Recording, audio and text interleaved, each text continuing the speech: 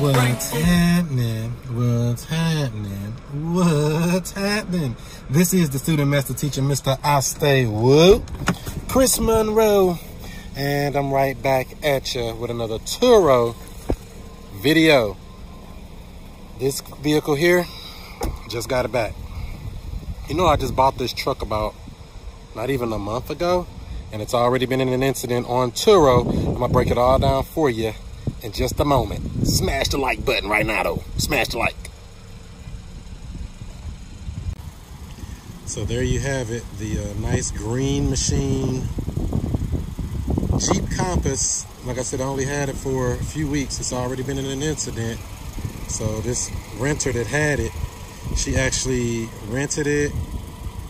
Uh, we did a contactless, touchless check-in, so I didn't meet the people. So they uploaded their picture, driver's license, or they uploaded their driver's license and they uploaded their selfie of them holding a driver's license. However, it was a lady that was about 71 years old, so that was already kind of a red flag right there.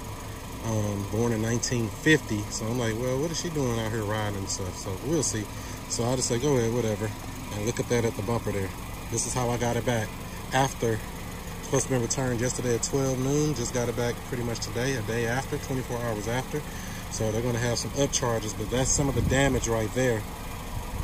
Um, I don't know if they hit something or ran over something or what happened, but as you can tell, there's uh, all the little things have popped out of there for some reason. You know what? I should have popped the hood, the uh, trunk right quick and see what's under there because I don't know. There might be something going on under there. But as you can see, they definitely hit something. I don't see any damage to the tires but there's definitely damage to the other parts of it. The other damage that I see here is this windshield. I mean, look at that, that crack is going all the way to the base. From here, all the way up to with the impact, all the way up some more to there. So yeah, it's got some damage for sure.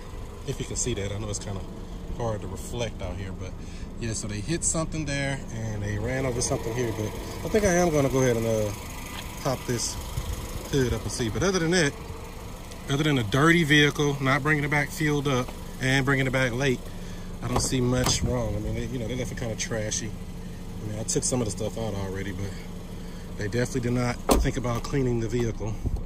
But they left me a gift. How nice of them. Look what they left me. Some Island Bliss Shea Sugar Scrub. So that's what they left me in the back of the vehicle here.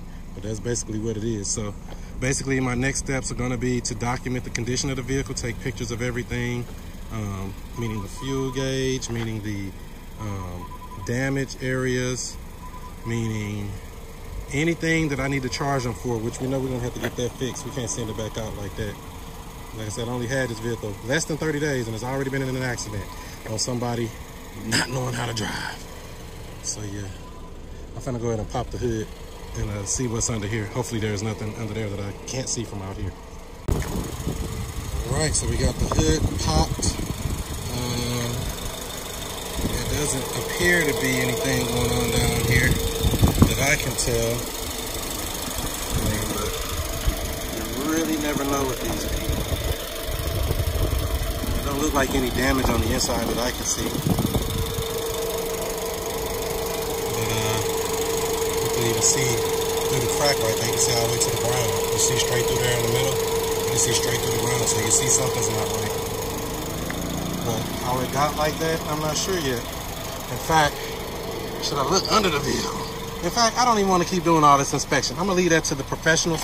Let them gauge the damage of this. So what do you think about this? do you think I should throw the book at her? Or should I be nice and say, oh, well, you know, things happen. But they kept my vehicle past the time. They lied to me once. They said, yeah, I'll be there. Uh, I'll be there uh, at 12 o'clock. She said they're going to be there at 3. We're, gonna, we're running a little late, which is already a red flag. And they disabled my tracking device. I forgot about that. They took my tracker out of my thing. They unplugged it. So I'm going to have to either do something different with that as well. So that's the tracker right there. They unplugged that. I just plugged it back in. That big black box right there. I'm going to actually change that and put it underneath. And I'm getting an actual hardwired one put in here as well.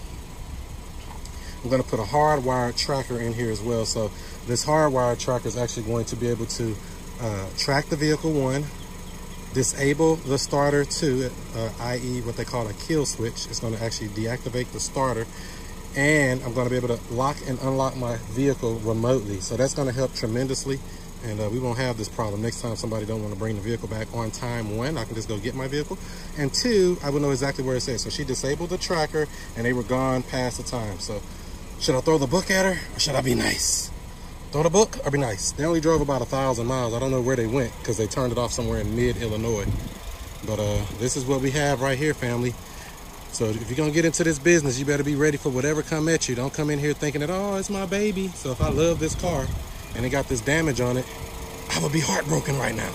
So don't make yourself be heartbroken. Don't be attached to these vehicles. I'm gonna get it fixed and it'll be back on the road in a couple of days. So I'll let you know how this turns out. If you have any questions, comments, or concerns, leave it in the comments below. Don't forget to follow me on all social media outlets at Chris Monroe STL, especially on Instagram because I put stuff in my stories that doesn't come out up on, uh, you know, full video. So this is just a video I want to put together for you so you can see some of the experience I've been going through. Uh, we have more cars on the on the uh, platform called Turo right now. And uh, we're going to be adding some more anyway, regardless, because it makes a lot of money. So she rented this at a day rate of $170 a day. 170 a day, ain't that nice? But I'm on a 60-40 plan, so I only get 60% of that. However, we're to deal with this repair right now. And hopefully you all have a great rest of your day do what you do, be who you be, and I'll see you before you see me. Damage.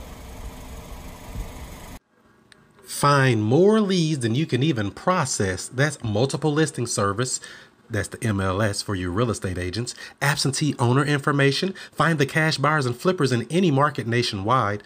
Pull a pre foreclosure list. And don't forget, you got to find those comps. Get nationwide access with multiple filters powered by PropStream at wokesource.com. Get your seven day free trial today. Wokesource.com. That's wokesource.com.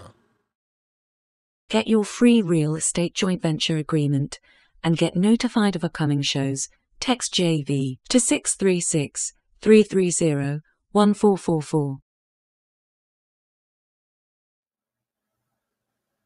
Today's broadcast is being brought to you by WokeSkipTracing.com. Look up phone numbers and email addresses with ease, with pricing as low as only 15 cents per match, not per search, per match. If there's no number or email address, you don't pay. Get accurate data in just minutes wokeskiptracing.com. That's wokeskiptracing.com. You may have heard the saying, the fortunes are in the follow up. Now there's a brand new system that is great to help you code call, text message, drop voicemails, and so much more, all automated. You don't have to remember anything, just set it and forget it. All you have to do is speak to people. Check it out, wokereply.com. It's a multi touch marketing campaign where you can schedule to send text, voicemail, email, and even live calls all on autopilot. Check it out today, wokereply.com. That's wokereply.com.